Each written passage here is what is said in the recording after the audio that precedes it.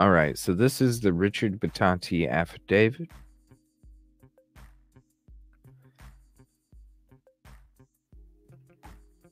Request for foreign subpoena out of state commission. Witness Bethany Grace Funke. The undersigned does hereby affirm that the preceding document does not contain the social security number of any person. Dated this fourth day of April 2023.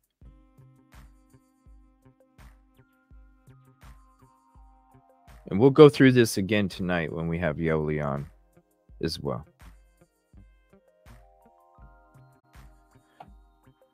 considered the defendant's ex parte motion for certificate to secure the attendance of an out of state witness and the affidavit of Richard Bitonti in support of said motion in the court being otherwise fully advised hereon. I, Megan E. Marshall, do by certi- hereby certify as follows 1.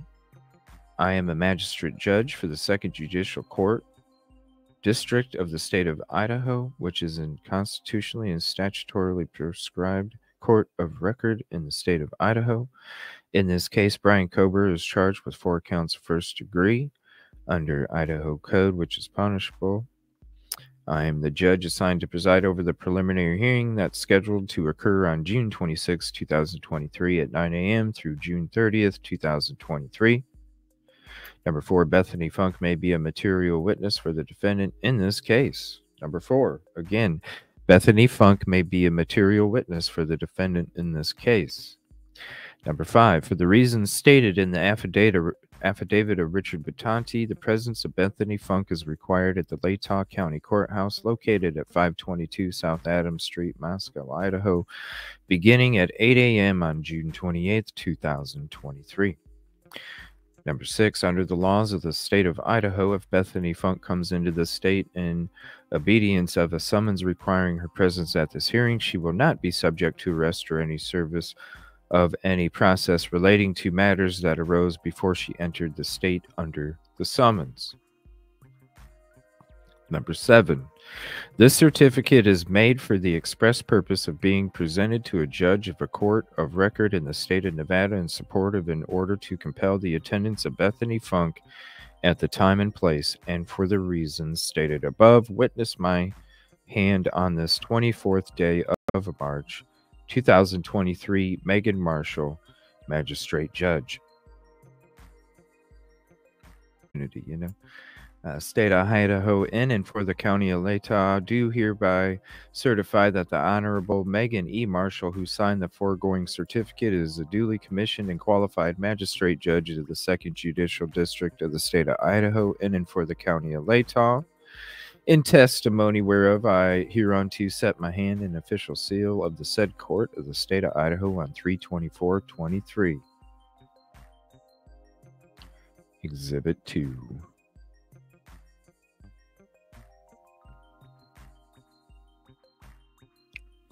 All right. And this is Anne Taylor requesting the assistance and attendance of Bethany Funke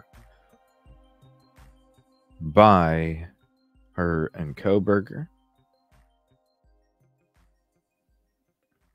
Now, this is the important part here. This is page nine. And if anybody would like the uh, link again, let me know and I'll go ahead and drop it. State of Idaho, County of Latah. Richard Bitonti, being first duly sworn upon oath, deposes and says 1. I am a criminal investigator hired by the defense to assist in the representation of Bryan Kohberger. 2.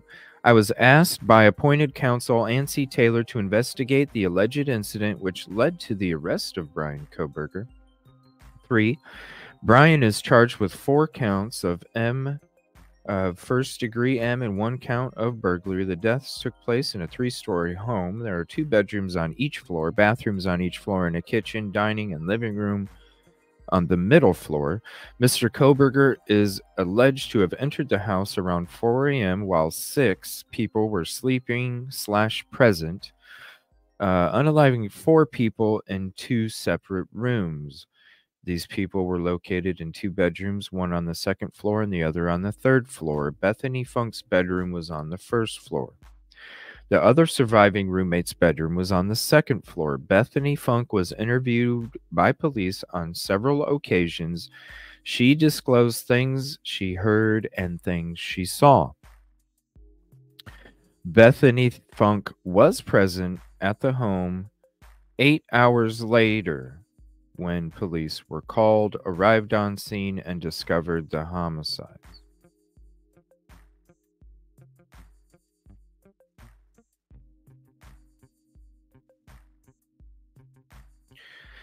During the course of my investigation, it became known to me that Bethany Funke has information material to the charges against Mr. Kohberger, Portions of information Miss Funke has is exculpatory to the defendant. Miss Funke's information is unique to her experiences and cannot be provided by another witness.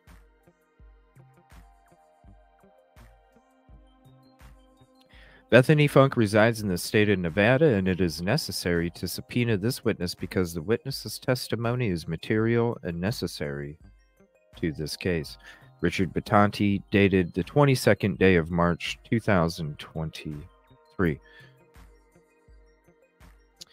Well, commercial. You know how you know how I always talk about my experiences and I compare it to smelling salt and I'm telling you, okay, well if you know how potent smelling salt is, then you know how potent the smell I'm trying to tell you because it's like a hundred billion times worse, stronger, more potent.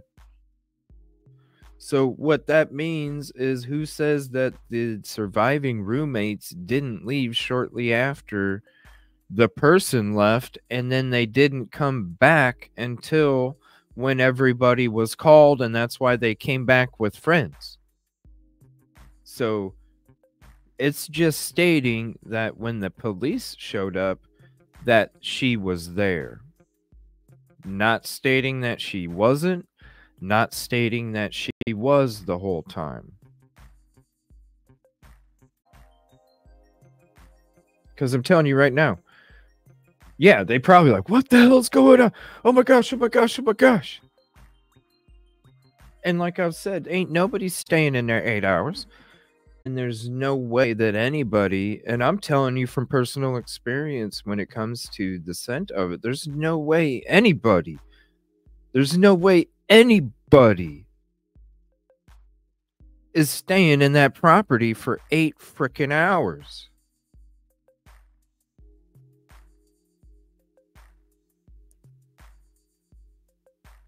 Because if sticking shit up your nose and plugging it it doesn't matter. You still have to breathe. Are you not able to taste when you breathe? Think about a skunk. When a skunk sprays, can you not taste it?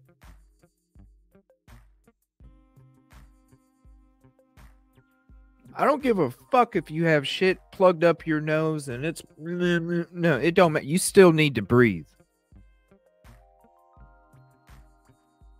That too, Aaliyah. They still need to breathe. I mean, I'm sorry. You can taste it. It's that potent.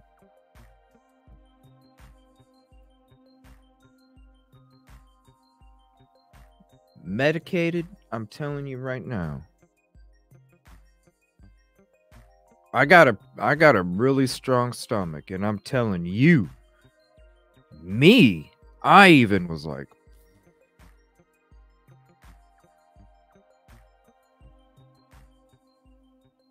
No, ain't nobody chilling in that fucking house for eight hours. Ain't happening.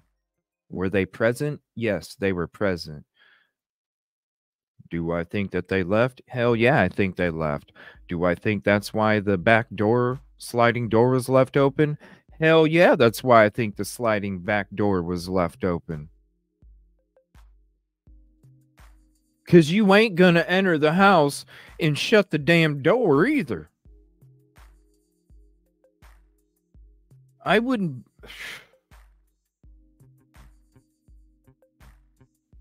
I'm just.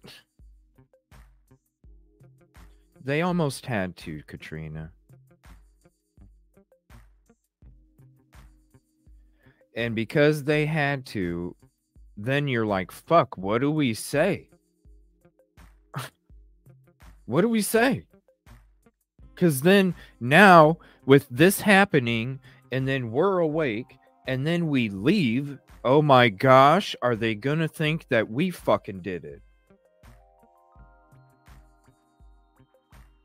Now, this is all speculation. That's what we are. Look at the bottom down there. little ticker.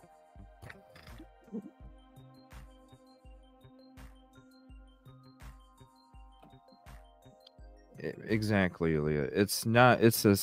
It's a scent you cannot describe to anybody. That's why I compare it to smelling salt. Uh, if you can think of a better comparison, Aaliyah, let me know. The be- best thing I can think about is is smelling salt the potency of it and then multiplying it by a shit ton. Like that's the best way. If you if you've ever experienced a smelling salt and